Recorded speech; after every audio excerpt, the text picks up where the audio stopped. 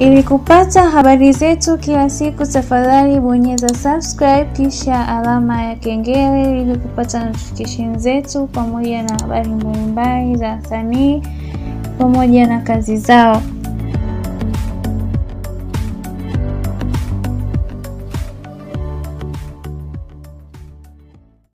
Kwa leo on top news, leo tunaye Diamond Platinum, msanii ambaye ni maarufu sana hapa nchini na ni msanii mkubwa vile vile, ambaye anasimama kama director kwenye lebo ya WCB au Wasafi Classic.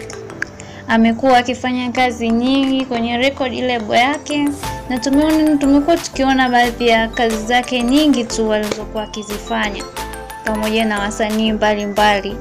Leo hii tutamwongelea msanii maarufu zaidi pia hapa nchini anayejulikana kwa jina la Rayvanny. Msanii huyo pia hivi karibuni ametoa rebo mpya ambaye ameipa jina la Next Level Music ikiwa na album pamoja na nyimbo alizoimba na wasanii mbalimbali ambao amekuwa akiwashirikisha kufanya kazi mbalimbali mbali katika muziki kwa Tanzania. Ah, ila kitu cha tofauti sasa hapo. Tunakuja kuona kwamba hii rekodi mpya ambayo ameitambulisha kuwa ni ya kwake na pia ipo chini ya usimamizi wake, ila hilo jambo bado kama linaleta utata hivi. Kwa hiyo tumekuja kugundua kwamba kumbe anaisimamia record label hii ni bosi wake ambaye ni Diamond Platinum, na ukweli ni kwamba lebo hii si ya Rayvanny bali inasimamiwa na Diamond Platinum ambaye ni bosi wake.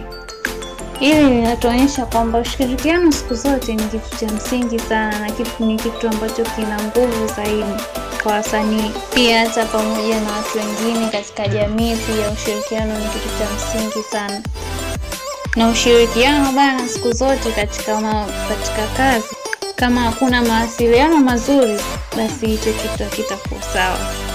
Hivyo lebo hii iliyotoka sio ya Rayvanny tena, ila ni ya Diamond Platinum, ipo chini ya usimamizi wa Diamond Platinum na kila mtu analijua hilo.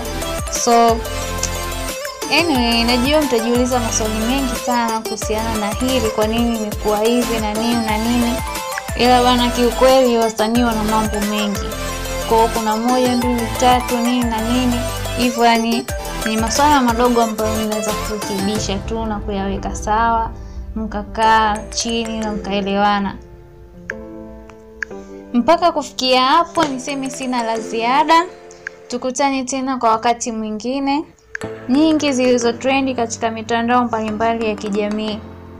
Mpaka hapo, niseme sina la ziada.